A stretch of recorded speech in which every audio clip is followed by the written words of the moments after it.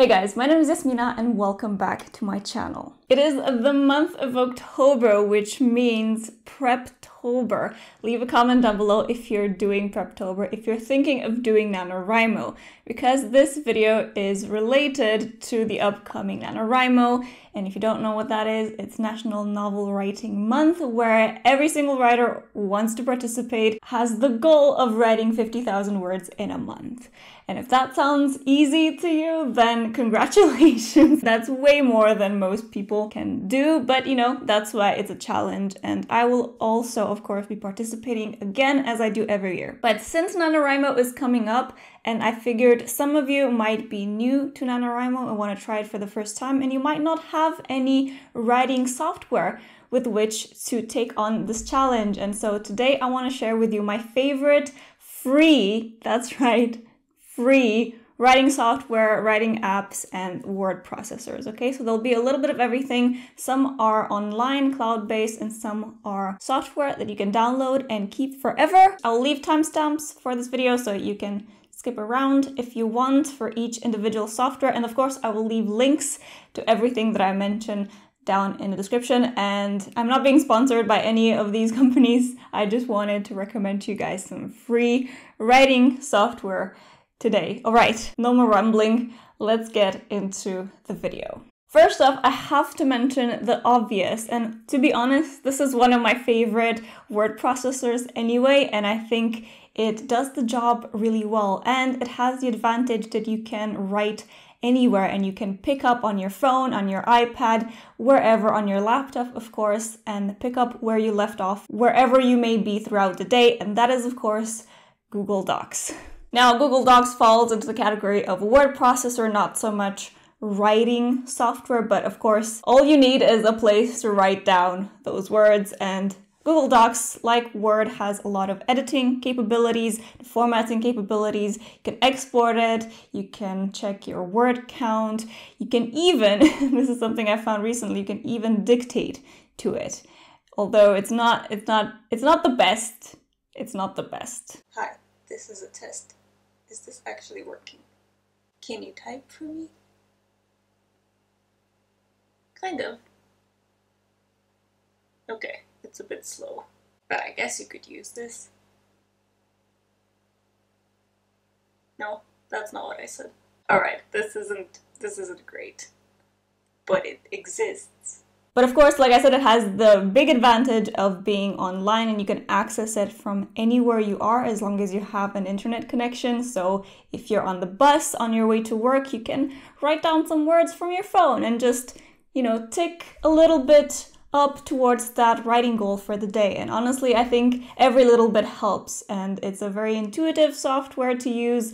I really like it. So if you haven't tried writing in Google Docs before, I highly recommended. And it's collaborative. In case you ever want to co-write a novel with someone else, then you can also do that and both of you can see what the other is doing in real time, of course. Next up is one for my fellow Mac users.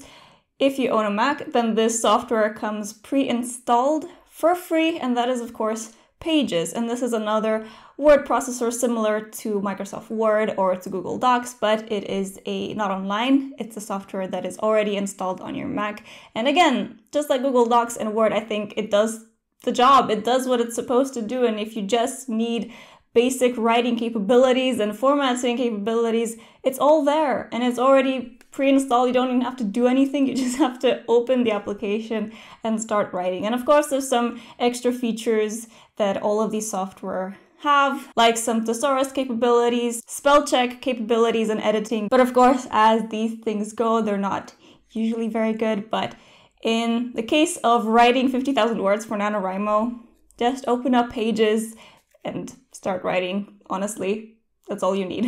And now one for my Windows users. This is one I could not test myself because I only have my Mac right now with me, but this is called Focus Writer and it is a downloadable app only for Windows. It actually used to be available on Mac as well. Right now though, it's only available for these systems, so I guess they kind of stopped updating it at some point, but as you can see from the screenshot, this is one of those kind of outdated pieces of software, and the last update was somewhere in 2020. I think the whole idea of Focuswriter is to focus so you can actually just remove all of the formatting things from your screen and just write. I have read that a lot of people do enjoy this software, those who have tried it before on Windows, but I cannot attest to it personally, so I can just recommend you go check it out and maybe it works for you if you have a Windows or a Linux system. All right, and next up is LibreOffice. LibreOffice?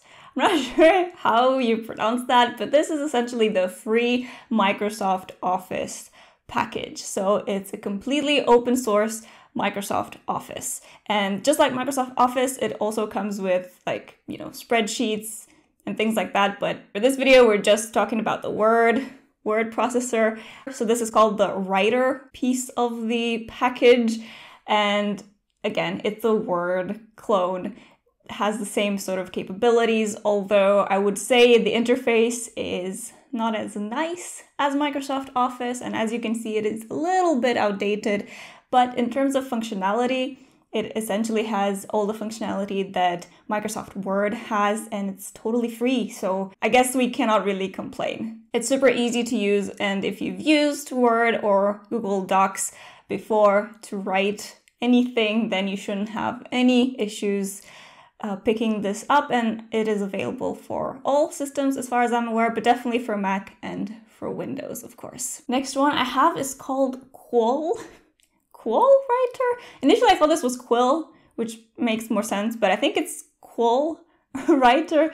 Anyway, this is a writing software that you can download and it is a little bit outdated as you can see from the UI. It's not the prettiest thing, but it surprisingly, it has quite a lot of interesting features. Right away as I started using it, these achievements started popping up, which to be honest did feel quite a bit annoying because it seemed like they were every single second, but I'm pretty sure you can turn off that feature.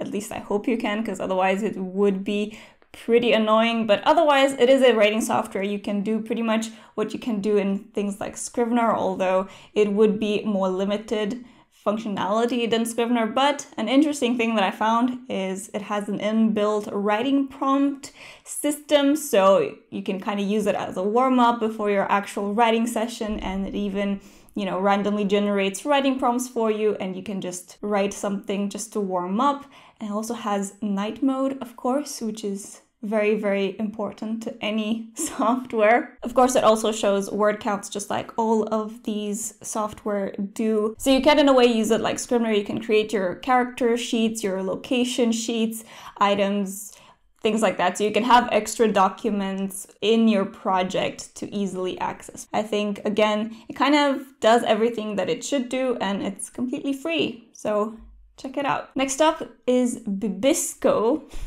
And this is another writing software. So this one I feel is not as intuitive.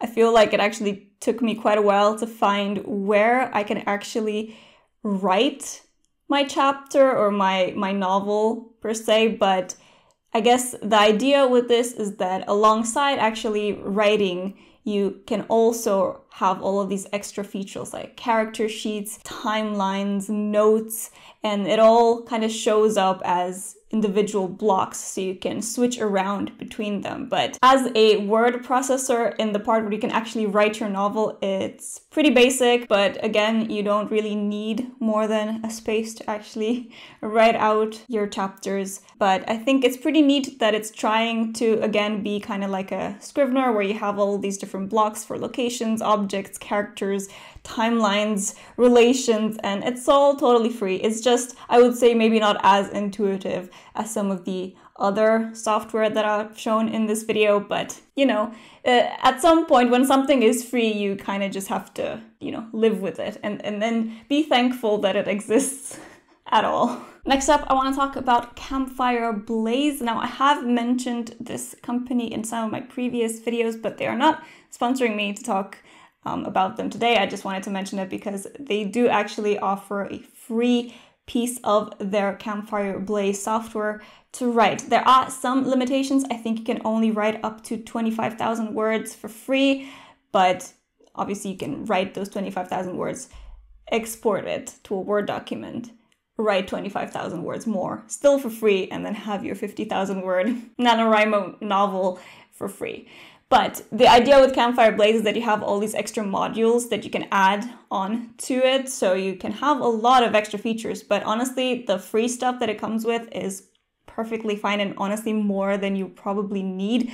But it's not just a word processor. As you can see, it has a bunch of features and a bunch of different really cool modules that you can add to and have this like proper writing project where you can have character sheets and lot arc timelines. You have all the stuff about the world. Like you can create magic systems. You can create languages religions all this stuff. Like there's just so much. It's honestly probably a lot more than you will need, especially for a NaNoWriMo project, but it's just nice that it's there and it is for free.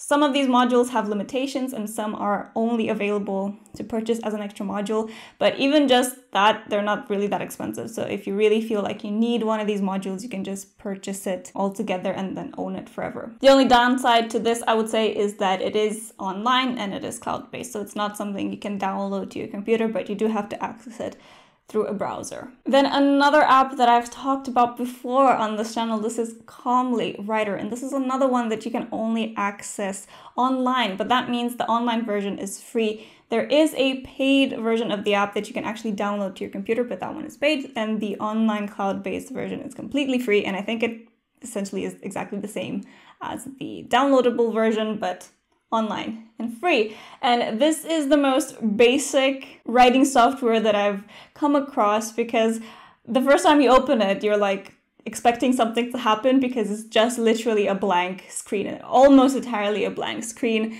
And maybe that's a little confusing, but the idea is that, you know, you can just focus on the words and disregard all of the distractions. But if you actually start clicking around, you will find some settings and configurations. It kind of does what it should do for a word processor. It has some cool features like night mode, of course, and a really cool feature is typewriter sound. So you can you can feel like a like a real writer when you're writing on this piece of software and it creates typewriter sounds. It's it's it's honestly cooler than it probably sounds. Just just try it.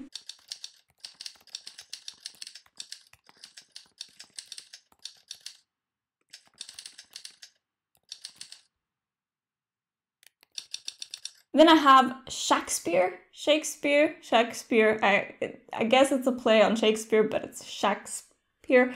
Anyway, you can actually get a free trial for the pro version for 30 days but you can also have the basic version, which is free forever. Uh, so the version that I tried out is the pro version because once you sign up for the first time, you do actually get a code to try out the pro version. And this is a downloadable software. And again, as you can see, it's pretty straightforward and you can just write your words in the manuscript part of the software and then it has a bunch of extra features. What I did like about this particular software is it comes with a lot of statistics and interesting things like it analyzes the sentimental value of your piece of writing and it analyzes the linguistics and the style and it also has some strange overview that I didn't really understand the purpose of, but it, it looks cool. So it has all these like cool graphs and stats, which I like me some stats, but I guess maybe it's not always a good thing when you don't really understand what, what the stats mean. but it looks cool. It certainly looks cool.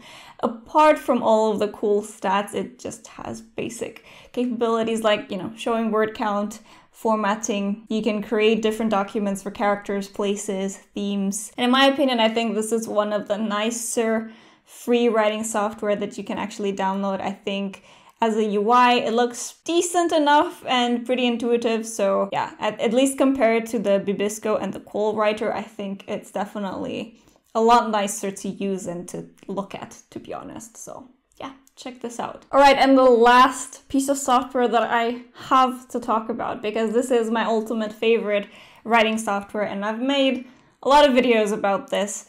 That is Scrivener. And you might be wondering, hold on, Iasmina, Scrivener is a paid software. And you're right. Yes, yes, it is. However, however, they have a 30 day free trial. And the cool thing about that is it's not chronologically 30 days, it's 30 days of you actually using it. So, of course, for NaNoWriMo, this would be perfect because if you log in every day during November, that is 30 days that you can use the software for free and write your NaNoWriMo project. I think that's actually why it was made like that in the first place. They collaborated with NaNoWriMo in the beginning. But if you only use it, say, once or twice a week, that's only two days counting towards those 30 days. So it can actually last you quite a while, those 30 days. So I highly recommend at least checking this out and trying the free version because Scrivener is amazing. I this is my main writing software that I use. I do pay for it because I think it's totally worth it and it is a one-time fee kind of deal that you don't have to it's not a subscription-based model which that is a conversation for another day. I do like when you can purchase a product and own it forever. Thank you very much. Um, but yeah, honestly, try out the free version. Scrivener has everything you can ever need, and honestly, way more than you'll probably ever need. But it's just that piece of software that all writers really, really love once you actually start using it. And I've talked about it on my channel a lot. I will link my tutorial for Scrivener up in the cards and down in the description if you're interested to hear more about what it can do.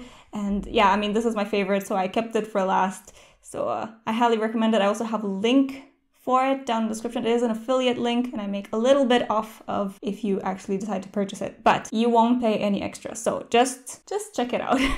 okay, so those are all of the best free writing software, word processors, and apps that I have tried out and I would feel comfortable recommending. I've honestly tried out more than these, but there were some that I just I could I couldn't like I could not recommend because they were just so bad and outdated and I don't think anyone would feel nice working on a novel in any of those software. So, yeah, of course there's stuff you can use like you can use Notepad and things like that. I'm sure there's other things that you can use, but I just wanted to recommend some software that is intended for writing in general and that a lot of writers actually use to write their novels and not just grocery lists. So I hope you found this video useful and there are links to all the pieces of software that I mentioned today down in the description. So make sure you check that out and pick whichever you want to try out for yourself and I hope you do and I hope you will participate in NaNoWriMo and have a great time using some of these free writing software to write your 50,000 words. Thanks so much for watching. I hope you enjoyed today's video and I will see you next time in a new video. Bye!